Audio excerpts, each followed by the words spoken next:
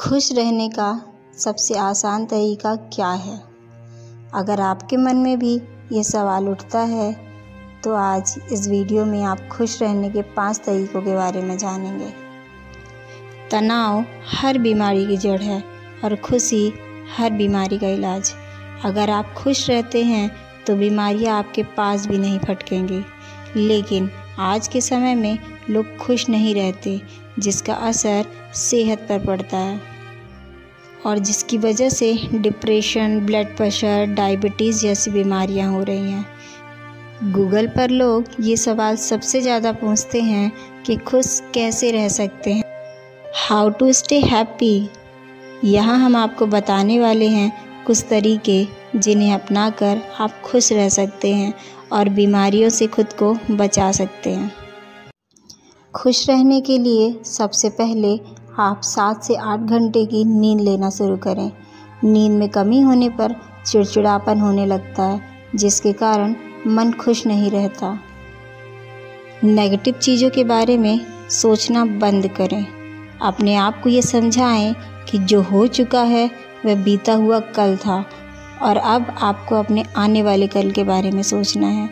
बीते हुए कल को सोचकर अपना ना समय बर्बाद करें, ना अपने मन को दुखी करें, क्योंकि जो हो चुका है, उसे बदला नहीं जा सकता। जो लोग आपसे दूसरों की बुराई करते हैं या चुगली करते हैं, उनसे दूरी बना लें। ऐसे लोग आपको कभी भी खुश नहीं रहने देंगे। अपने दिनचर्या में योग को शामिल करें। अपने मन को खुश और शांत करने के लिए आप मेडिटेशन करना शुरू करें। सुबह के समय घास पर नंगे पैर कम से कम पंद्रह मिनट के लिए टहलें। इससे हैप्पी हार्मोन्स रिलीज़ होते हैं। जब भी आप परेशान हों और अच्छा महसूस ना कर रहे हों तो आप अपनी पसंद के गाने सुनें या फिर कोई म्यूज़िक इंस्ट्रूमेंट प्ले करें। खुश रहने के लिए अपने खान पान में बदलाव करें और फल तथा सब्ज़ियाँ डाइट में ज़रूर शामिल करें। दोस्तों, ये तो मैंने आपको कुछ उपाय बताए हैं, लेकिन वास्तव में खुश रहने के कोई उपाय नहीं है।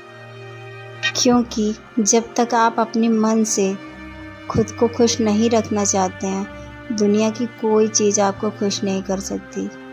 इसलिए आपके पास जो भी है, जितना भी है, जैसा भी है, उसमें खुश रहें और अपने आसपास के लोगों को भी खुश रखें। अब मैं आपको खुश कैसे रहते हैं, उससे रिलेटेड एक कहानी सुनाने जा रही हूँ।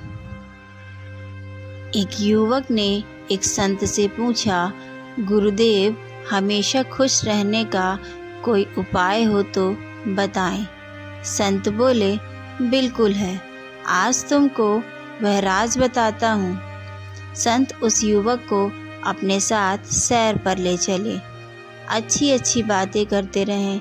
युवक बड़ा प्रसन्न था।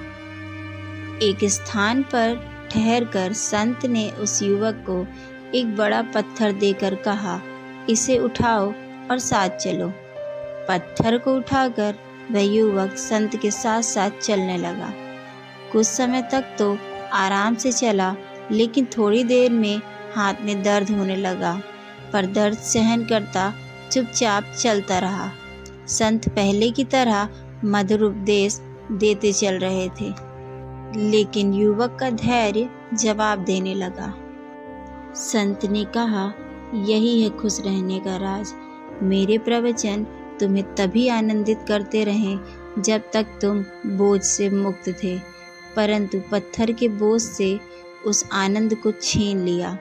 जैसे पत्थर को ज़्यादा समय तक उठाए रखने से दर्द बढ़ता जा रहा था, उसी तरह हम दुखों या किसी की कही कड़वी बात के बोझ को जितनी देर तक उठाए रखेंगे, उतना ही दुख और कष्ट होगा। साथ ही खुशी जीवन से बहुत दूर चली जाएगी। इस कहानी से हमें यह प्रेरणा मिलती है कि अगर खुश रहना चाहते हो तो दुख रूपी पत्थर को जल्दी से जल्दी नीचे रखना सीख लो। और हो सके तो उसे जीवन में उठाओ ही नहीं।